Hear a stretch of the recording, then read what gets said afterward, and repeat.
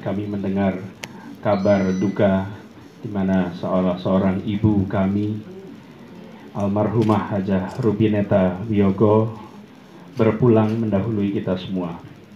Saya atas nama pemerintah daerah daerah khusus ibu kota ingin menyampaikan ucapan bela sungkawa yang sedalam-dalamnya dari seluruh aparat Pemprov DKI Jakarta. Kami secara khusus insya Allah nanti akan mendoakan pada beliau semua karyawan staf di Pemprov. Dan insya Allah kami mendoakan agar almarhumah bukan